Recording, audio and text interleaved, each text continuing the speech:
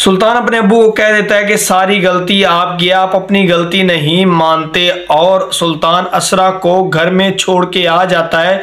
उसे शादी पे नहीं लेके आता, अपनी अम्मी को कहता है कि मैं असरा को नहीं लेके आया, मुझे इंतज़ार करना पसंद नहीं है। तो दोस्तों, आज की वीडियो में हम बात करेंगे शिद्दत ड्रामे के आने वाले एपिसोड में क्या होने वाला है। दोस्तों गुजारिश है, वीडियो शुरू होने से पहले इस चैनल को आप सब्सक्राइब कर दें और बेल को भी प्रेस कर दें। वीडियो की तरफ़ चलते हैं। सबसे पहली बात यह है कि जब असरा को सुल्तान कहता है कि ये सूट मुझे कैसा लगेगा, असरा कहती है कि ये आपको सूट अच्छा नहीं लगेगा। अब सुल्तान की कोई तारीफ़ ना करे और कोई ऐसा कह दे इसको कि ये आपको सूट अच्छा नहीं लगेगा। सुल्तान को बहुत ही ज़्यादा गुस्सा आने लगता है।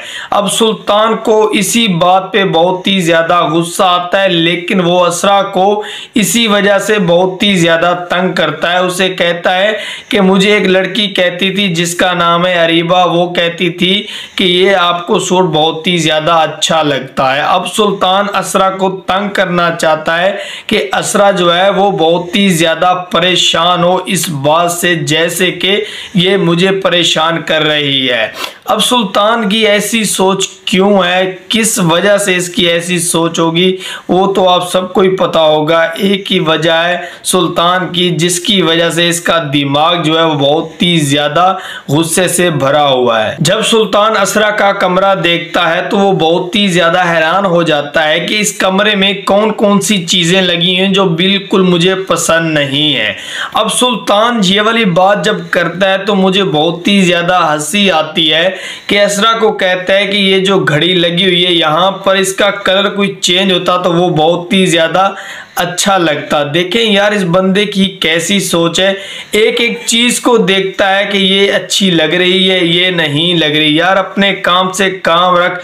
तुझे क्या है कि ये घड़ी यहाँ पर अच्छी लग रही है या नहीं लग रही? बस अपने आप को कहता है कि मैं बहुत बड़ी चीज़ हूँ और मैंने जितनी भी चीज़ें बनाई हैं, अपनी मेहनत से बनाई हैं बार बार यही वाली बात असरा को करता है। जब असरा के घर वाले डिनर कर रहे होते हैं, इकट्ठे बैठ बैठकर वहाँ पर सुल्तान भी होता है। सुल्तान अपने मोबाइल को यूज़ कर रहा होता है, लेकिन जो असरा की अम्मी है, वो सुल्तान को कहती है कि, बेटा, मोबाइल आप जेब में डालें। लेकिन जब ये वाली बात करती है असरा की अम्मी, सुल्तान को बहुत ही ज़्यादा गुस्सा आता है, लेकिन वो अपने गुस्से को कंट्रोल करता है। वो सख्त लहजे से कह देता है कि, मैं अपने मोबाइल के अंदर कोई बिज़नेस कर रहा हूँ, इसीलिए ये ज़रूरी है।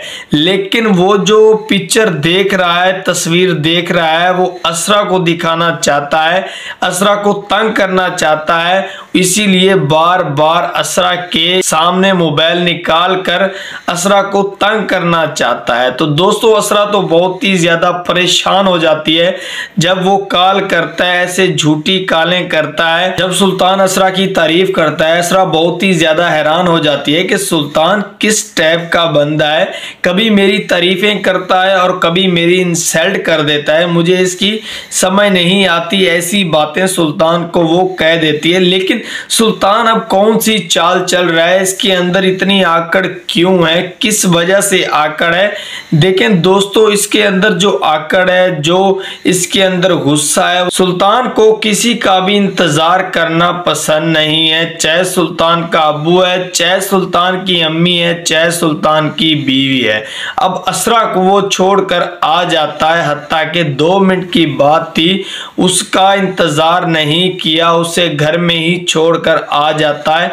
हत्या के इनके घर की शादी है, उसको शादी पे लेके नहीं आया। जब सुल्तान की अम्मी सुल्तान से पूछती है कि आप असरा को क्यों नहीं लेके आए, सुल्तान कहते हैं, आपको पता है कि मैं किसी का भी इंतज़ार नहीं करता। मुझे मुझे किसी का भी इंतज़ार अच्छा नहीं लगता तो सुल्तान की जो अम्मी होती है, वो बहुत ही ज़्यादा परेशान हो जाती है कि आप असरा को क्यों नहीं लेके आए? आप जाओ, लेके आओ सुल्तान, लेकिन बहुत ही ज़्यादा ज़िद्दी होता है।